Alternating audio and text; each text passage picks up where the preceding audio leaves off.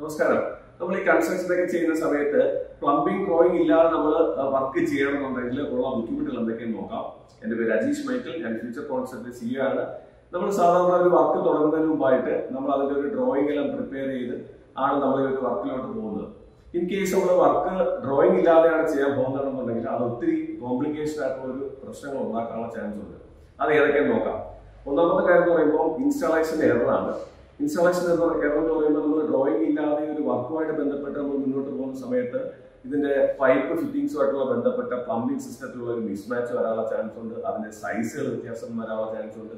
നമ്മൾ ഈ ഫിക്സ്ചർ ഒക്കെ വെക്കാൻ പോകുന്നതിന്റെ ഡയമെൻഷൻസ് ഇതെല്ലാം നമുക്കൊരു കോംപ്ലിക്കേഷൻ ആയിട്ട് വരാം.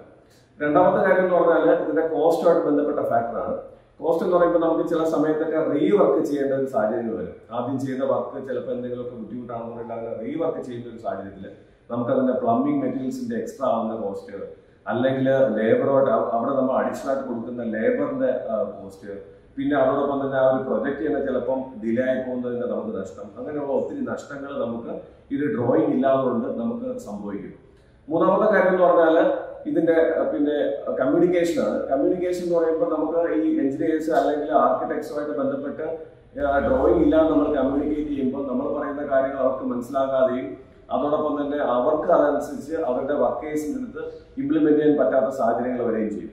അതുകൊണ്ട് ഏറ്റവും ഇമ്പോർട്ടന്റ് നമുക്ക് എഞ്ചിനീയറിംഗ് ഡ്രോയിങ് ഉണ്ടെങ്കിൽ നമുക്ക് ഉറപ്പായിട്ടും ഇങ്ങനെയുള്ള പ്രൊഫഷണൽസ് ആയിട്ട് നമുക്ക് കമ്മ്യൂണിക്കേറ്റ് ചെയ്യാനായിട്ട് വളരെയധികം എളുപ്പമാണ്.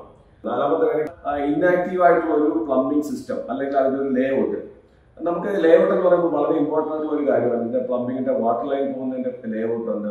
അതോടൊപ്പം തന്നെ ഡ്രെയിനേജ് പോകുന്നതിന്റെ ലേ ഔട്ട് ഉണ്ട്. അല്ലെങ്കിൽ ഫയർ ഫൈറ്റിങ്ങുമായിട്ട് ബന്ധപ്പെട്ട് പോകുന്ന ലേ ഔട്ട് ഉണ്ട്. ഇവിടെ എല്ലാം നമുക്ക് ഡ്രോയിങ് ഉൾപ്പെടെ നമ്മൾ വെച്ച് ചെയ്യണമെന്നുണ്ടെങ്കിൽ അവിടെ എല്ലാം നമുക്ക് ഒത്തിരി പ്രൊഡക്റ്റും സേവ് ചെയ്യാനായിട്ട് പറ്റും. കറക്റ്റായിട്ട് എഫിഷ്യന്റ് ആയിട്ടുള്ള ഒരു ഒരു വാട്ടർ ലൈൻ അല്ലെങ്കിൽ ഡ്രെയിനേജ് ലൈനൊക്കെ നമുക്ക് ഡെവലപ്പ് ചെയ്യാനായിട്ട് പറ്റും. ഇൻ കേസ് നമുക്ക് ആ ഒരു ലേഔട്ട് കറക്റ്റ് അല്ല എന്നുണ്ടെങ്കിൽ പിന്നത്തേതിൽ നമുക്ക് വാട്ടറിന്റെ ചിലപ്പോൾ ഫോഴ്സ് കൂടുകയും കുറയും ചാൻസ് ഉണ്ട്. അല്ലെങ്കിൽ നമുക്ക് ഇതിന്റെ ഡ്രെയിനേജ് ചിലപ്പം ബ്ലോക്ക് ആവാനുള്ള അല്ലെങ്കിൽ അങ്ങനെയുള്ള പ്രോബ്ലംസ് വരാനുള്ള ചാൻസ് വളരെയധികം കൂടുതലാണ്. അഞ്ചാമത്തെ കാര്യം എന്ന് പറഞ്ഞാൽ ഫ്യൂച്ചറിലത്തേക്ക് വേണ്ടിയിട്ടുള്ള ഒരു നമുക്കൊരു പ്ലംബിംഗ് ലൈൻ നമുക്ക് അറിയാൻ പറ്റും. എന്തെങ്കിലും ഒരു വർക്ക് എല്ലാം ഹാൻഡ് ഓവർ ചെയ്തതിനു ശേഷം പിന്നെ എന്തെങ്കിലും കംപ്ലൈന്റ് ഉണ്ടെങ്കിൽ ആ കംപ്ലൈന്റ് റെക്ടിഫൈ ആയിട്ട് നമുക്ക് ഇതിന്റെ ഒരു ഡ്രോയിങ് ഉണ്ടെങ്കിൽ നമുക്ക് ഈ ഡ്രോയിങ്ങിനനുസരിച്ച് നമുക്ക് അവിടെ എന്തെങ്കിലും മെയിന്റെനൻസോ അല്ലെങ്കിൽ റിപ്പയറോ ചെയ്യാനായിട്ട് പറ്റും. Thank you